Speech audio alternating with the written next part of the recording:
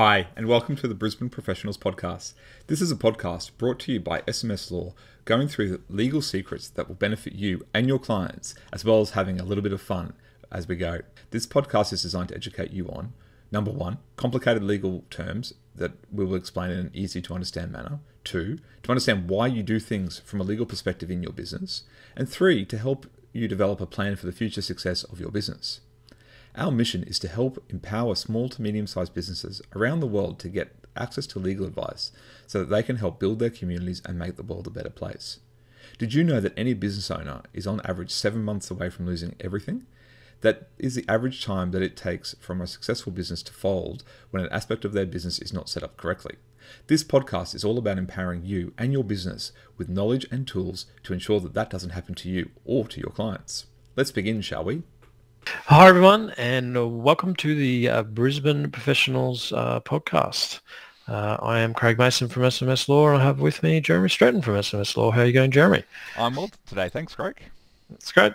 Uh, so this is the Brisbane Professionals podcast uh, brought to you by SMS Law, as the intro uh, stated.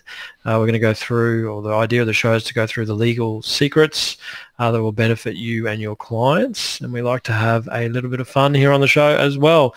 Now, one of our junior lawyers, uh, Jeremy, is heading off to court this morning. Is there any jokes that he might want to share with the other lawyers there while he's there?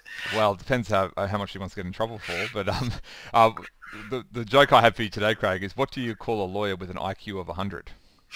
I don't know. Um, Jeremy Stratton, perhaps? Maybe Craig Mason? No. Um, um, Your Honour, uh, you know, for those who don't know, referring to the judge. So. yes, they're very smart uh, men or uh, women, the judges. All right, excellent. So today's show, uh, we're going to talk about a, a term that um, it's probably thrown around uh, pretty willy-nilly, and that's uh, time uh, of the essence. Uh, so, Jeremy, do you want to explain exactly what that actually means and ramifications in contracts, etc.? Yeah. So, so time's time is of the essence. You've probably heard it. You know, it, it's always in real estate contracts in Queensland.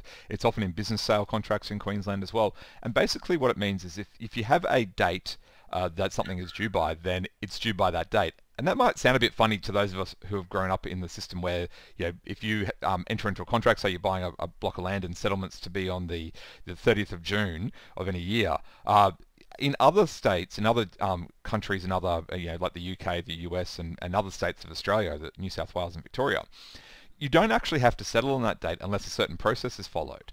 And so we have a concept in Queensland called time is of the essence. And, and essentially that means that where you have a clause in a contract that says that something is due by a certain date, it is actually due by that date.